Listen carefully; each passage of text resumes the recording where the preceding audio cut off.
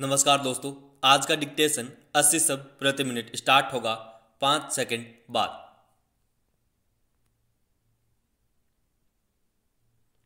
Start उपाध्यक्ष महोदय, मैं इस बिल का समर्थन करता हूँ। मुझे खुशी है कि कृषि मंत्री एक क्रांतिकारी बिल लाए हैं, लेकिन दुख है कि जैसा बिल लाया जाना चाहिए था, वह अभी तक नहीं आया है। मुझे खुशी है कि मंत्री महोदय ने बड़ी हिम्मत से यह बिल पेश किया है, परंतु कुछ सदस्यों ने इसका विरोध किया है। उन्होंने इस बात की ओर ध्यान नहीं दिया कि जब तक वनों को हम बचाकर नहीं रखेंगे और ज़मीन पर कब्जा करने की, लोगों की जो भूख है, उसको नहीं रोकेंगे। तब तक हम वनों को नहीं बढ़ा सकेंगे। देश की जो दूसरी सबसे बड़ी समस्या है, वह है बेरोजगारी। उसे यही एक विभाग है जो सबसे ज़्यादा दूर करता है। आदिवासी लोगों को, गरीब और पिछड़े लोगों को वनों से ही रोज़गार मिलता है। काफ़ी ऐसे लोग हैं जो छः महीनों वनों से ही फल फूल द्वारा भोजन करते हैं। मैं इस विषय में मंत्री महोदय का ध्यान आकर्षित करना चाहूँगा।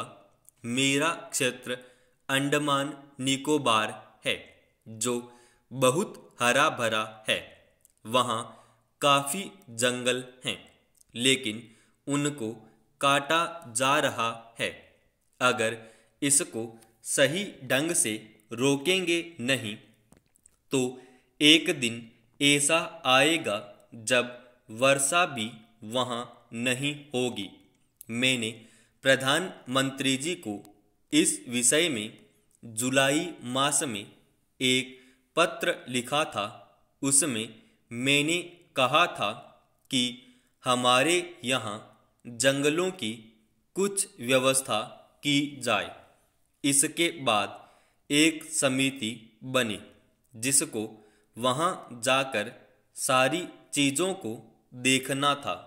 उसकी सिफारिश के अनुसार वहाँ काम होना था।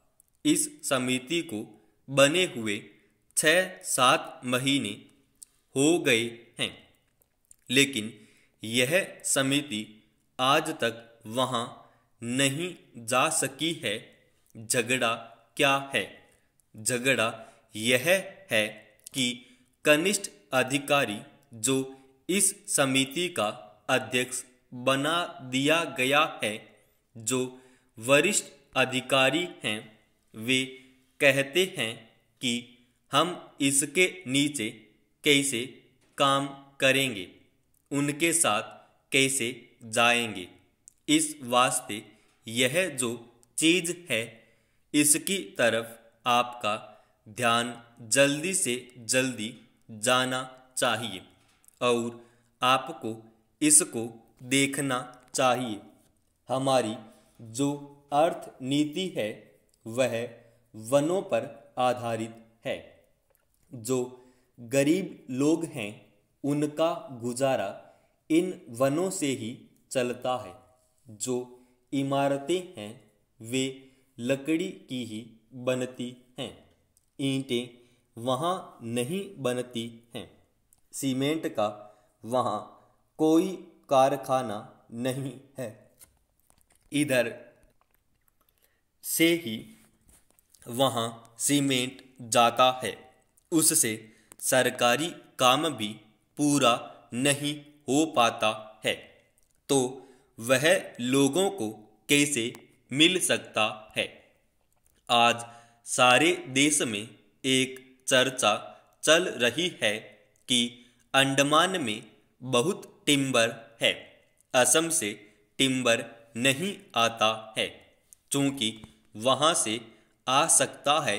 इस वास्ते वहाँ पर भी इसका भाव बहुत ऊँचा हो गया है और वह असम से टिम्बर न आने की वजह से हुआ है। लकड़ी के दाम आज इतने अधिक बढ़ चुके हैं कि बेचारे गरीब लोगों को तो अपने घर बनाने में भी बहुत बड़ी कठिनाई का सामना करना पड़ रहा है। समाप्त।